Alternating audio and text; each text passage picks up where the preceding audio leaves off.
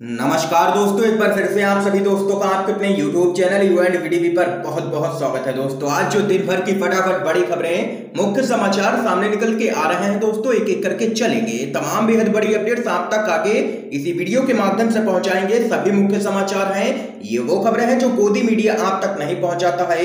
इसलिए इन सभी खबरों को जानने के लिए लगातार हमारे साथ आगे इसी वीडियो में बने रहिएगा।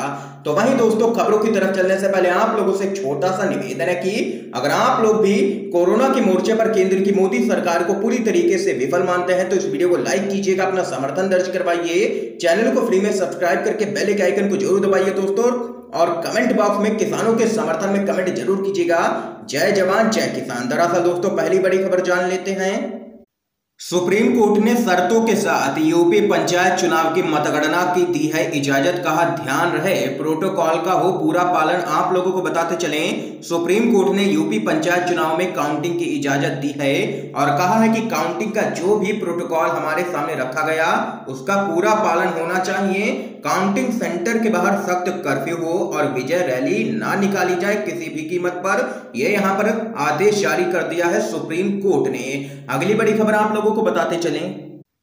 कुछ हफ्तों के लिए बंद करो देश, तभी सुधरेंगे हालात। अमेरिकी डॉक्टर ने दे दी है भारत को सलाह। आप लोगों को बताते चले, भारत में कोरोना संक्रमण की दूसरी लहर जिस तरह से तांडव मचा रही है। वह बेहद ही चिंताजनक है। इस चेन को तोड़ने के लिए कुछ हफ्तों के लिए देश को तत्काल बंद करने की ज़रूरत है। लॉकडाउन लागू करने से कोविड पर बहुत हद तक नियंत्रण पाया जा सकता है। यह बात अमेरिकी राष्ट्रपति जो बाइडेन प्रशासन के मुख्य चिकित्सा सलाहकार डॉक्टर एंथनी एस फॉसी ने कही है। डॉक्टर फॉसी ने कहा कि भारत में जिस प्रकार कोरोना संक्रमण का फैलाव लगातार जारी है, लोग अस्पतालों में ऑक्सीजन और बेड के लिए परेशान हो रहे हैं, दवाओं की कालाबाजारी हो रही है, लोग पूरी तरह से बेबस नज़र आ रहे हैं, लोगों को इस वक्त कुछ भी समझ में नहीं आ रहा है। बेकाबू हो रहे कोरोना की वजह से भारत इस समय कठिन दौर से गुजर रहा है। ऐसे में तत्काल रूप से क्या करना ज़रूरी है जिससे महामारी पर लगाम लग सके? इस स्थिति में देश में कुछ समय के लिए लॉकडाउन लगाने की ज़रूरत है। ये यहाँ पर सलाह दी है भारत को अमेरिकी डॉक्टर ने। देख सकते हैं, बड़ी खबर है। आप लोगों की क्या कुछ राय है? इस खबर पर ज़रूर बता सकते हैं। कमेंट बॉक्स में अगली बड़ी खबर की तरफ़ चलते हैं। किसान नेता बोले, जिन्हें अस्पतालों में बेड ना मिले, वो विधायकों और सांसदों के घरों में जाकर के डेरा डाले। आप लोगों को बताते चले, भारत में जब कोरोना संक्रमण की दूसरी लहर ने दस्तक दी तो केंद्र सरकार ने इसे गंभीरता से बिल्कुल भी नहीं लिया, जिसका नतीजा यहाँ निकला कि आज इस घातक महामारी की वजह से लाखों लोगों की मौत हो चुकी है। हर दिन भारत में तीन लाख से भी ज़्यादा कोरोना संक्रमण के मामले लगातार सामने निकल के आ रहे हैं। तो वहीं भारत के कई अस्पतालों में ऑक्सीजन और वैक्सीन की तंगी आ चुकी है, जिसके चलते मरीजों का इलाज नहीं हो पा रहा है। इस मामले में अब भारतीय किसान यूनियन हरियाणा के अध्यक्ष गुरनाम सिंह चढ़ूनी ने बड़ा बयान दे दिया है। उन्होंने ट्वीट कर कहा है कि अगर कोरोना मरीजों को अस्पताल में बेड और ऑक्सीजन नहीं मिलती है तो वे अपने विधायकों और सांसदों के घरों में जाकर के डेरा डालें। तो वहीं संयुक्त किसान मोर्चा के किसान नेता दर्शन पाल ने भी इस मामले में भाजपा को ही सीधे तौर पर जिम्मेदार ठहराया है। कोरोना फैलाने के लिए केंद्र सरकार को आड़े हाथों लिया है किसान नेताओं ने। अगली बड़ी खबर आप लोगों को बताते चले। अमेरिका राहत सामग्री सीधे राज्यों को भेजेगा, केंद्र सरकार को नहीं। जी हाँ दोस्तों आप लोगों को बताते चले, अमेरिका ने बड़ा फैसला किया है, जो भी अमेरिका मदद करेगा, वो सीधे ही राज्य सरकारों को मदद पहुंचाई जाएगी अमेरिका की तरफ़ से। क्या यह इस बात का संकेत है कि मोदी पर पूरा भरोसा नहीं कि वे भाजपा व गैर भाजपा राज्यों के बीच राजनीति नहीं करेंगे? राहत सामग्री पहुँचाने में अमेरिका को भी पता है कि हमारी केंद्र सरकार का मुखिया एक बेईमान इंसान है। तो वहीं दोस्तों, अगली बड़ी खबर जान लेते हैं। मुंबई के पूर्व पुलिस अफसर का बड़ा दावा, पीएम ने गोवा के राज्यपाल के लिए नामित किया है पूर्व चुनाव आयुक्त सुनील अरोड़ा का नाम। जी हाँ दोस्तों, आप लोगों को बताते चले, सुनील अरोड़ा पर यहाँ पर लगातार पीएम मोदी के पक्ष में ही काम करने के आरोप लगते रहे हैं। आप लोगों को बताते चले, सियासी हलकों में अरोड़ा को राज्यपाल बनाए जाने की बातें कुछ दिनों से लगातार चल रही थी तो वहीं एक अखबार में लेख में लिखा गया था कि अरोड़ा को गोवा का राज्यपाल नामित किया जा सकता है।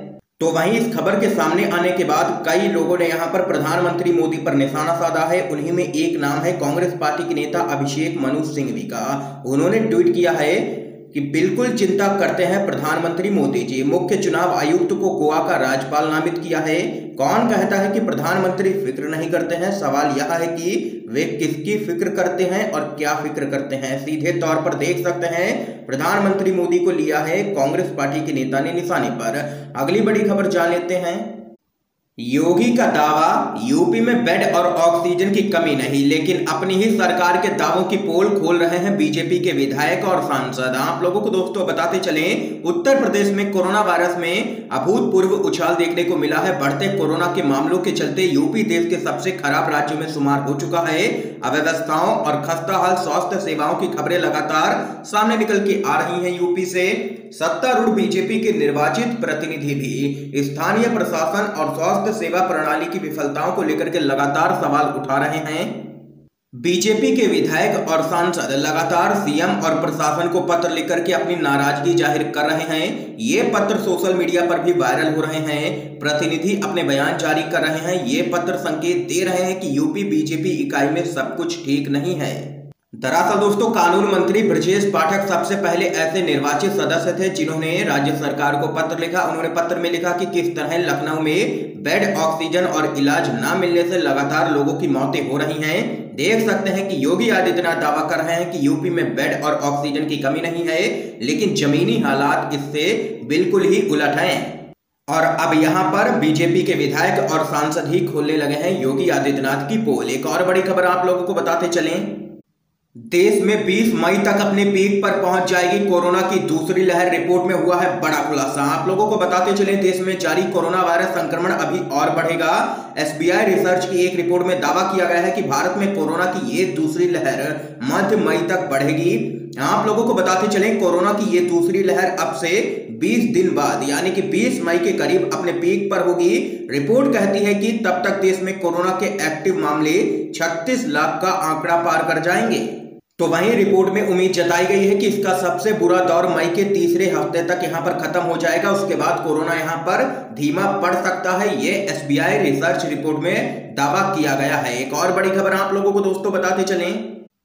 चीनी राष्ट्रपति ने पीएम मोदी को लिखा पत्र। लिखा, कोरोना जंग में भारत की हर मदद को तैयार। आप लोगों को बताते चले, चीन के राष्ट्रपति सी जिनपिंग ने प्रधानमंत्री मोदी को एक पत्र लिखकर के भारत में कोरोना वायरस महामारी पर संवेदना व्यक्त की है और देश में कोविड 19 मामलों की वर्तमान बढ़ोतरी से निपटने के लिए समर्थन और सहायता प्रदान करने की पेशकश की है। आप लोगों को खबर के अनुसार बताते चले, राष्ट्रपति ने भारत में कोविड 19 महामारी पर प्रधानमंत्री मोदी को संवेदना संदेश भेजा है। सी ने अपने संदेश में कहा कि चीन, भारत के साथ महामारी रोधी सहयोग मज़बूत करने और देश को समर्थन और सहायता प्रदान करने के लिए पूरी तरीके से तैयार है।